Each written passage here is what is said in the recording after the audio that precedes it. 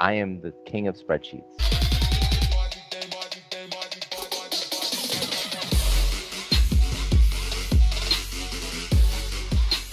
The economy very important to us here on the channel. Welcome back to the Games Gamers. Industrialists following the channel very closely because they know we've been following the economy since the very beginning.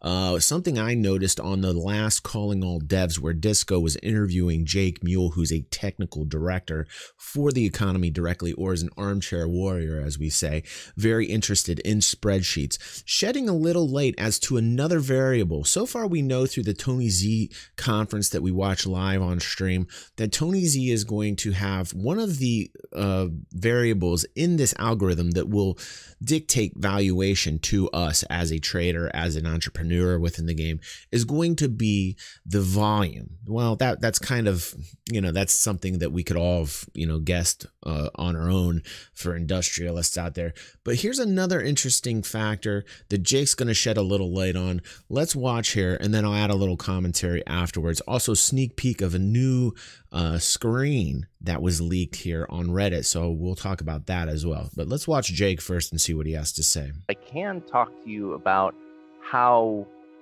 um, what kind of things go into the price of the ships and what the, goes into the economy behind them, where okay. players will be to buy these ships. So when when we look at the ships, one of the things that we're looking at right now is not necessarily the the UEC or the dollars to earn it, but we're trying to figure out the time to earn it.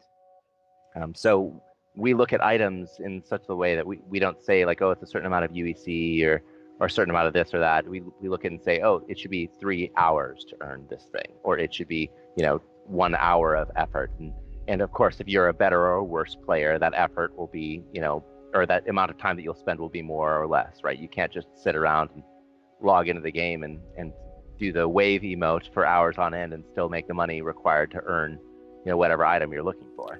So as you see there, Jake, we could we could we could misconstrue actually what he's saying in the fact that um, time is like the only importance as a game developer. These people want to make sure that it takes a certain amount of time to get to these ships. But uh, what I think he's actually saying is that he wants to have time as a variable in this algorithm. So they want to constitute like valuation on I think not only just ship costs, but certain particular types of minerals or parts or pieces or items or assets within the game to have a, a, certain kind of time factor built into this algorithm. So now we know it's going to be volume and now we know it's going to be time. I think that's exactly what Jake was trying to get across to people there.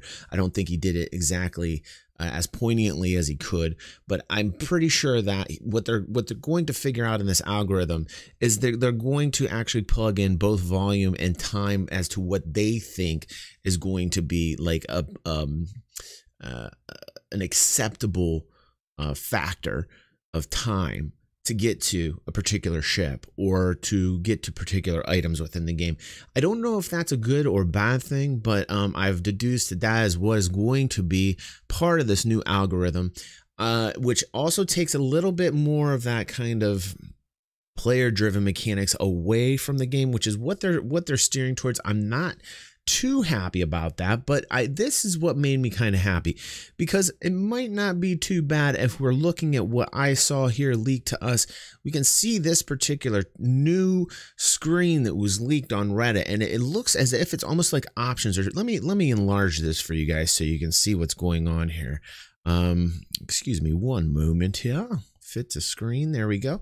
This is really cool, like a commodities market. And I think they'll do this on other types of particular items, but a commodities market with futures tradings would be really interesting. I think we will be get uh, we will be able to get involved in it as a player, which is cool, along with the algorithm that they have within the game, so that the NPCs are consist uh, consistently calculating uh, the actual valuations based upon volume and that base factor of time that just uh, that Jake just showed us. And if this is the case, and this is how they're going to roll this out, this actually makes me a little bit more excited and a little less worried that the NPCs are going to kind of be taking control because we're literally going to be inserted into this algorithm as a player. I hope that that's how they're going to plan it. I think that would be a nice kind of uh 50-50 split for, you know, you know, hey guys, we're going to have 90% controlled NPC economy, but we will allow you to participate in the futures market. We will allow you to participate in valuation. If they do that, if they do that, that would be kind of like a really nice compromise for player driven mechanics within the game. And i think that that would that would make most industrialists very happy to be involved in something like this. How much effect we will have is another conversation but the actual mechanics of it i'm not i'm not uh as worried if this is the way that it's going to roll out. And i can i can kind of deduce i almost deduce that this is how they're going to kind of satiate this uh, demand that the industrialist has for the player driven mechanics is to say, okay, you know, we are going to let you operate directly within the system, directly with this algorithm. If they do that, kudos to them. And I am much happier of a trader, of an entrepreneur within the game. But this is a really cool screen and I, I'm I'm I'm not quite sure what the stuff behind me is actually trying to show there, other than probably to the minute or to the day charts as far as like the options on them or you know i'm not quite sure how specific. I think the more in depth they get with this particular chart the better it's going to be. The the cooler the gameplay is going to be. And it will it will give us the industrialists that kind of gameplay that we are looking for will give certain kind of um, valuation as far as like the actual tangible feel of this having some type of value of, of the cost being like important to us uh, if we are involved with this particular process. So I'm, I'm not quite sure.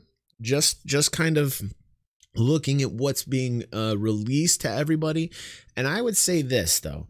I would say all in all, right now, I'm I'm hesitant. I'm hesitantly optimistic so I hope you guys enjoyed this. I'll continue. I will always continue to look into the uh, any economic news within Star Citizen. I will always do that for you guys. I know that there are a lot of industrialists that follow this channel, and I'm not giving up on continuing to fight for player driven mechanics because there are a lot of people out there that like to play the game this way. And I don't think it's smart to completely dismiss that because you will lose a lot of the population or citizens and you will you will make the game less successful in doing so. So this is what they have told us that they are listening to the community feedback from what Jake had told us on that last calling all devs. Kind of has a negative connotation sometimes. Like I know that people like to like to diss on designer, you know, spreadsheet designers that don't open the game. But you know, the truth is that we do open the game, right? We do experiences it. One of the problems with being an economy designer is that anything that I do in the economy is doomed to be anecdotal, right? I can't go in and say like, oh, well, how much is the cost of this material going over, you know, shipping from place A to place B? Well, if I did that, I'm not giving an accurate assessment of the system because I'm not playing in a server with you know hundreds of other people at the same time right? Like um, so it's something that we have to rely heavily on the community feedback to figure out like how does how does our eco- economy work? Um, how does it feel? Like what are players actually experiencing? Because there's a big difference between what we hope the players experience and what they actually end up experiencing right? And the only way that we can figure that out is by listening to the forums listening to player input seeing what the like how the economy system is performing in the game. I think it's important that we continue to voice up as industrialists. I think we continue to keep them on point when it comes to what it is that we want, the industrialists. Don't let the people who are not industrialists over talk talk right over you to, you know, because then your gameplay becomes invalid.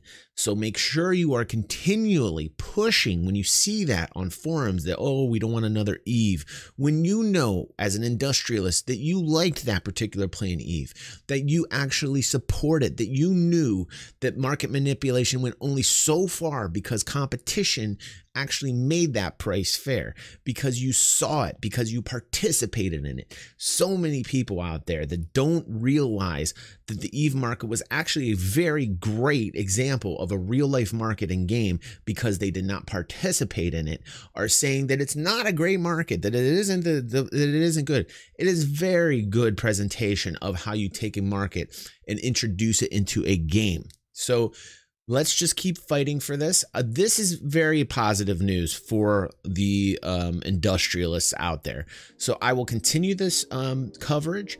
Thank you for watching. I hope you guys enjoyed this coverage, and I will see you on the next vid. Have a good day, guys.